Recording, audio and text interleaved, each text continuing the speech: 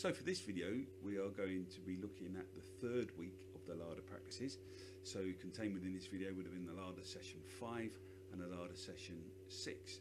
Already in the previous two videos, the previous two weeks um, in larder sessions 1, 2, 3 and 4, if you would have attended all four sessions you would have cooked all five dishes required for the criteria twice. So here we go then for session 5. So in this session it would have been one of the sessions one of your practical sessions of the uh, week. We would have been again cooking the amuse bouche dish which would have been sauteed chicken livers with diced chorizo sausage red wine jus. A thai chicken broth would have been the second course which obviously remember that goes fits in with your potage and broth uh, course. And a fillet de plaice bercy served on diced spring vegetables which obviously goes with the fish course. So like usual we'd have had the mise en place list. So if this would have been the, the prep order and if you would have prepped all this uh, ingredients in this order, then obviously you'll be uh, well on track and this will be a, a systematic order to produce the, the dishes in a good time manner. So chicken broth, I'm not going to go through this slide too much because if you've read the last two, um, watched the last two videos, you would know exactly what we're going to do here with the chicken stock. Um, we're going to get it um, onto the boil, onto a simmer, for two hours. If we can get it longer than two hours, great. Um, the longer the better, but two hours minimum and skimming as we as we go. The fish exactly the same as what we've done in the previous two um, videos. You'll probably get just half a fish, and remember that's two fillets. And with the two fillets, you would have got a long fillet and a short fillet. Fold them into the delice, which is a nice folded shape. Make sure they're nice and nice and trimmed, and then you're going to make a fish stock with the carcass, remember no heads or guts. And unlike the chicken stock, this only goes on for 20 minutes once it's boiled. Skimming as well, and if you go more than 20 minutes, then you could um, cloudy the stock and um, add bitter notes, which is certainly not what you want to do. For the fish sauce, exactly the same as we've done previously. Obviously, fish stock re reduced, add white wine, reduced, add some cream, simmer, remember not to boil, otherwise you'll separate the fat. Uh, remove um, the sauce off the heat, place it into two bowls. Into one of the bowls add uh, a egg, yolk, which forms a liaison. Um, we could add some fennel leaves, tomato concasse, which is the diced tomato once it's been blanched. Um, can add, and obviously that will um, change the appearance and, the, and uh, flavour the amuse bouche, we're going to finely brunoise the shallot and garlic, dice the chorizo sausage, trim the two chicken livers, place about three sprigs of pea, pea shoots in the fridge, which will obviously um, refresh them and um, firm them up ready for service. Produce two croûtes, which is obviously sliced bread, which has been um, brushed with olive oil and then either shallow fried or grilled. Any shape will do, as it says there on point five, but make sure that both shapes are the same. Um, for this dish, the livers do not have to be placed on top of the croûte. Entirely up to you. You can be creative with, with this because obviously you've got chorizo as well.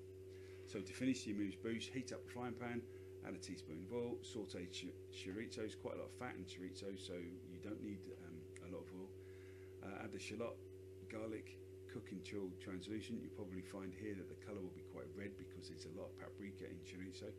Um, saute the chicken livers until just colouring place the plates and the croûtes into the oven, exactly like we've done before. Um, deglaze the pan with 25 mils of red wine. Um, you could add some lamb stock if you wanted to, to, to that. And then when it comes to plating up, uh, point number 10 suggests that you place the chicken livers on top or on side of the croûte, dress the plate with the sauce and the garnish with the, with the pea shoots that were in the fridge.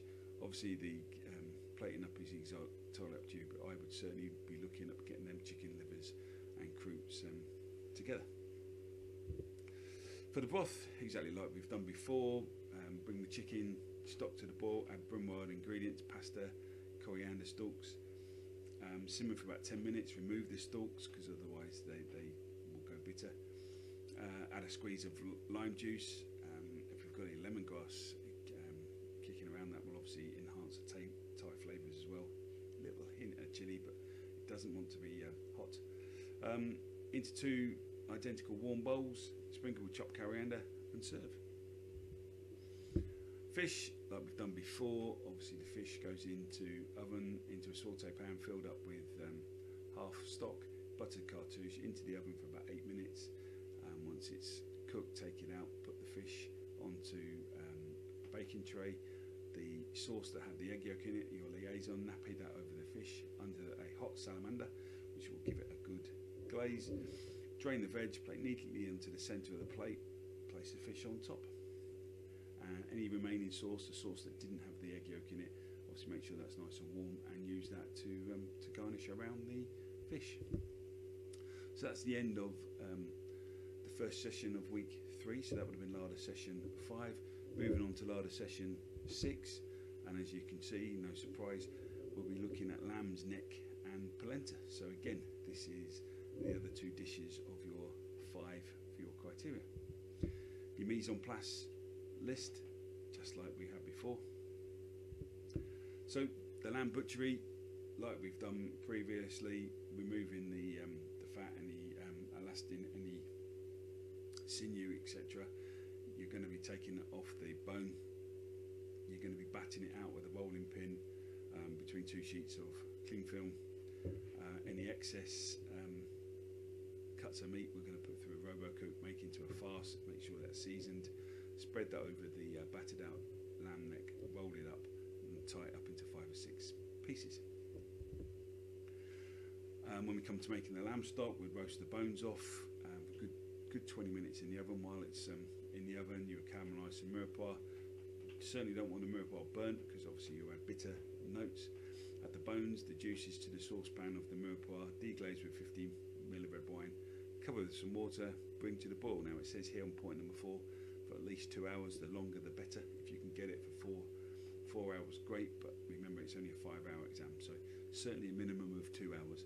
However, I've mentioned before on numerous occasions, lamb is quite fatty, so you will need to be skimming um, as much fat off the top of this as you can. If you don't, you'll end up with um, fat residue in your sauce, and that will certainly knock you points off. Just like we've done before, we're going to braise the lamb. We're going to seal seal the, the lamb neck off after it's had a good season. Get a good colour on the um, the outside. Place that into a sauteuse pan. We're then going to uh, add some mirepoix, add some stock, some red wine times bay leaf, some foil, and into the oven for a good two hours. Turning every th 30 minutes to give it a good cook. After the two hours, we're then going to remove the lamb's neck.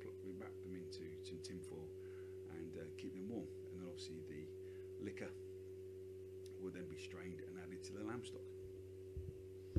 Polenta, just like we've done before, there's the recipe for the polenta. Remember, I've, I've said on the previous two videos, it's just like making porridge. Um, once you've got that thick consistency, you would turn it off the, the stove. Uh, you would add some seasoning, some parmesan cheese, some herbs. You could add a touch of chili if you wanted to. Um, and then wrap it into some cling film and form it into a nice cylindrical sausage type shape. Get it in the fridge and firm up. The longer in the fridge, the firmer it will go tomato sa salsa, tomato concasse. So obviously that is uh, a, a, tomato that's had the stalk removed, and then where the um, the core of the stalk was, you remove that with a um, paring knife the opposite side of the stalk. Make a cross in the skin. Put the tomato into boiling salty water for about 15 to 18 seconds. Remove the tomato, place it straight ice cold water, should start to the skin should start to um, peel off. It's what you want is the, the skin off. Um, and then remove the skin once it's cool enough to cut the tomato into four, get rid of all the, um, the, the, pips and the seeds, and then dice the tomato flesh into brunoise. Add this to um, brunoise shallot, peppers, some garlic, red chilli, some coriander, and some lime, and you should end up with a nice fresh um, salsa. Could um, put a bit of mint in there as well if we had any. Carrot puree so obviously we're going to um, uh, peel and cut a carrot into small dice, sweat it off with some, some butter, and then we want to um, put it into some water, give it a bit of a, a boil up, um, drain it, blend it, add some seasoning, and then obviously you should end, end up with a nice puree. Um, if you've made this early on in the session, then obviously you down to reheat later, but if you've um, made this just before service, then obviously you just want to keep it warm potatoes, obviously, we're going to um, turn the potatoes into barrel shapes. You can see the picture at the bottom here. There's some nice barrel shaped potatoes. If you can't get perfect barrel shape, it's not essential, but as long as all the potatoes are exactly the same size. Par cooking salt, salted water, what that means is you bring them to the boil and you cook them about half the way through. Um, and then um, you're going to brush them with oil, season, and roast in the oven. Obviously, when you are parboiling, you need to be careful that you don't overboil them because if you do, they're going to mash. And if they go into the mash, you'll never get roast potatoes. Once they're in the oven, turn them every so often and get nice um, colour and crispiness on the, the outside. Finish the polenta, obviously, by frying it. Um, it doesn't say on, on this slide that you can pané it, but I would pané it. So slice it, pané it, which is egg flour and breadcrumbs, um, shallow fry or deep fry until you get nice crispy on the outside, and then make sure you obviously serve it with the um, salsa. Uh, present with the Parmesan cheese tuile on point number six. What that is is grated Parmesan cheese. Use the fine um, grater attachment to the to the grater. Um, grate some Parmesan cheese. Um, get it onto a baking tray. Put that in the oven for about 150 degrees for about five to six minutes. Obviously, the cheese will start to melt. Um, take it out and use either a palette knife, put it onto a whiteboard, and then you can either cut these into um, shapes or you can um, get a round cutter and cut them out. And then you get a nice thin layer of um, essentially grated cheese that's obviously been melted, and that gives a nice texture and um, presentation to the to the dish. The jus, just like we've we've done before, obviously the um, um, deglaze with uh, 150 mils of red wine, reduce by th- three quarters, add the lamb stock, reduce again, and then strain just before you want to use it.